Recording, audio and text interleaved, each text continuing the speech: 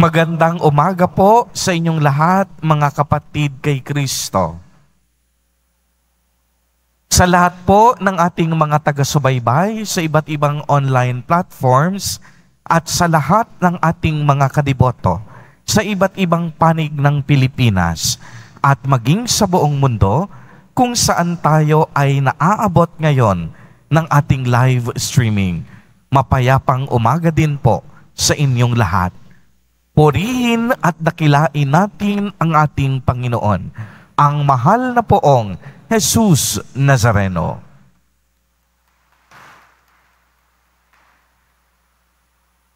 Mga kapatid kay Kristo at mga kadiboto, malugod po namin kayong tinatanggap sa Basilica Minor at Pambansang Dambana ni Jesus Nazareno.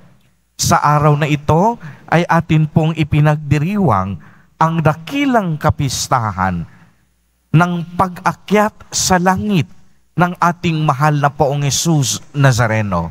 At kasabay nito, ipinagdiriwang din natin ngayon ang Mother's Day, araw ng mga ina. Kaya't batiin po muna natin ang mga katabi natin dito sa simbahan na mga ina na Happy Mother's Day.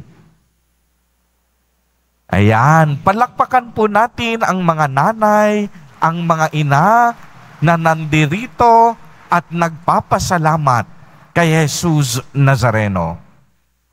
Kung mapapansin po ninyo mga kapatid kay Kristo at mga kadiboto, ang pag-akyat sa langit ng ating Panginoong Kristo ay ang ikalawang misteryo ng luwalhati sa ating Santo Rosario. Ito po ay naganap apat na pong araw matapos ng muling pagkabuhay ng ating Panginoon. Kaya nga narinig natin sa ating unang pagbasa mula sa gawa ng mga apostol, isinalaysay sa atin na pagkatapos mamatay sa krus ng ating mahal na poong Isus Nazareno, siya'y muling nabuhay at nagpakita sa kanyang mga alagad at apostol sa loob ng apat na pong araw. Sa mga sandaling iyon, walang sinayang na panahon si Jesus Nazareno.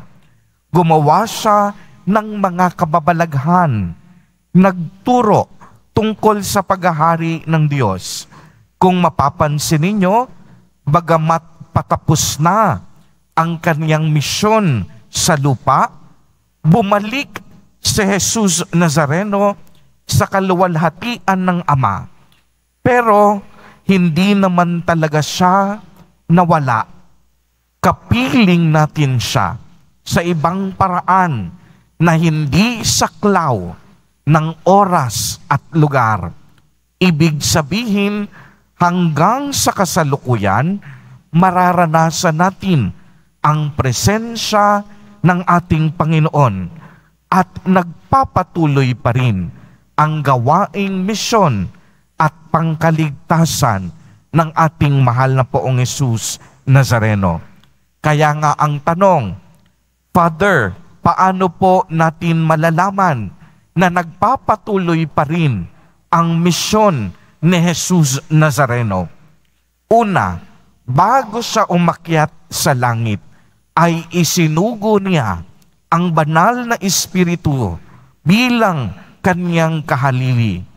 Ikalawa, isinugo din niya ang kanyang mga alagad at mga apostol upang ipahayag at ipagpatuloy ang pangangaral ng mabuting balita sa lahat ng bansa mula sa Jerusalem hanggang sa dulo ng daigdig at aapot ang mensahe sa mga lugar na hindi pa nararating ng mabuting balita. Kaya pakinggan ninyo ang hinabilin ni Jesus Nazareno. Humayo kayo at gawin ninyong alagad ko ang lahat ng bansa. Binyagan ninyo sila sa ngalan ng Ama at ng Anak at ng Espiritu Santo. Tingnan ninyo, mismong si Jesus Nazareno ang nagturo sa atin nito. At ano pang sabi niya? Tandaan ninyo, ako'y laging kasama ninyo hanggang sa katapusan ng sanlibutang ito. Mga kapatid kay Kristo at mga kadiboto, ang dakilang kapistahan po ng pag-akyat sa langit ni Jesus Nazareno ay muling nagpapaalala sa atin na ang tunay nating tahanan ay langit. Ito po ang naghihintay sa mga naging tapat sa Diyos hanggang sa wakas. Uulitin ko po, ang langit ang naghihintay sa mga taong naging tapat sa Diyos hanggang sa wakas ng kanilang buhay. Ang buhay natin sa lupa, lagi po nating tatandaan at wag na wag kakalimutan, panandalian lamang. Hindi magtatagal ang yaman. Hindi magtatagal ang kapangyarihan. Hindi magtatagal ang karunungan talino at propesyon. Hindi magtatagal kung anumang material na bagay ang pinangahawakan at nagpapasaya sa iyo sa kasalukuyan. Isang bagay ang tiyak, lahat tayo mamamatay. At naway sa ating pagpanaw, kagaya ni Jesus Nazareno, mabuhay din tayong muli ayon sa ating pananampalataya at pagmamahal. At naway, kagaya ng mahal na poong Jesus Nazareno, tayong lahat din makaakyat sa tunay nating tahanan, ang langit.